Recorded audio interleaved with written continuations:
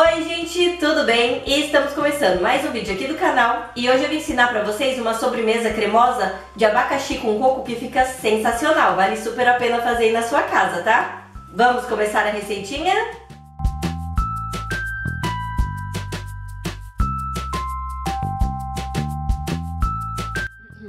Bom pessoal, para começar a nossa receita no liquidificador eu vou começar colocando 200 ml de água fervendo dois pacotinhos de gelatina sabor abacaxi,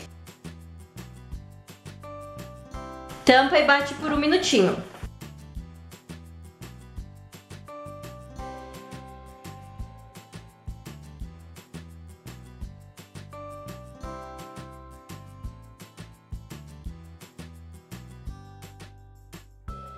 Já bateu bem.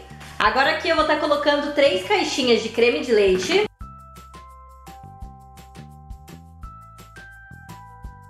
Tampa e bate por mais um minutinho.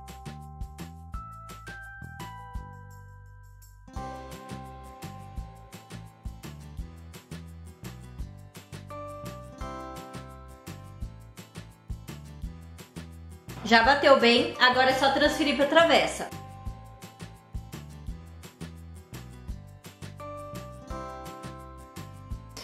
Já passei para a travessa, pessoal. Agora é só levar lá na geladeira por cerca de duas horinhas ou até que você perceba que já ficou tudo bem firminho.